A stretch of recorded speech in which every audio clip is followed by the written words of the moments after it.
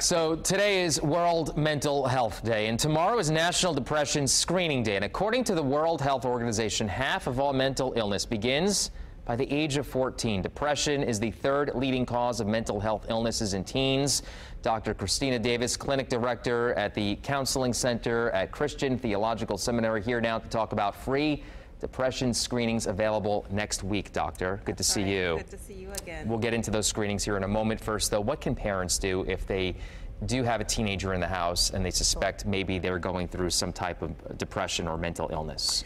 Sure. I think the most important thing is to really normalize conversations early and often about emotional wellness, about um, mental health, so that if there is something that comes up along the way, then that teen won't find that it's a struggle to know that it's okay to talk about that with, Sure. with mom or dad. Um, I think it's really helpful also for parents to do their regular checkups with their pediatrician um, because pediatricians now offer those screenings, according to the American Academy of Pediatrics, to adolescents as a regular routine part of physical health. Very good topic. Uh, also, this year's theme is reach out, right? Yes. Why is that important? Why is it so important to, A, if you're a person maybe going through something, to reach out and ask for help?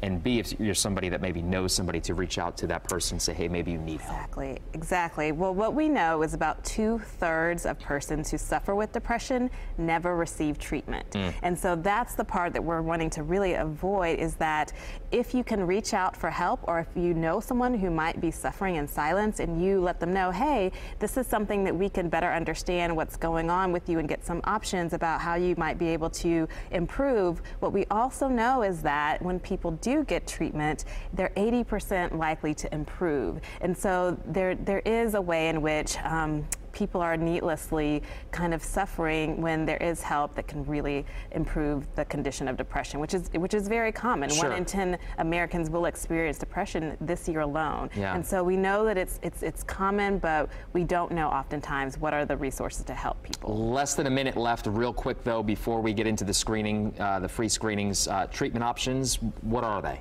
So once you have the screening and you are aware of what might be happening, a counselor will be able to talk with you about what those options are. That could include something like talk therapy. It could include a visit to a doctor that can um, prescribe medication. We know that those two oftentimes work best when they're done together. Um, but also there are social and spiritual and other kind of supports that we can recommend. Um, being connected to support systems helps tremendously as well. And that's where you can get those free screenings. You see it on your screen there. Uh, this is available starting next week, right? That's correct, all week long. Doctor, always good to see you. To see Thank you you for being well. here. Brad, we will pass it on over to you, sir. I know you're pretty busy in the weather.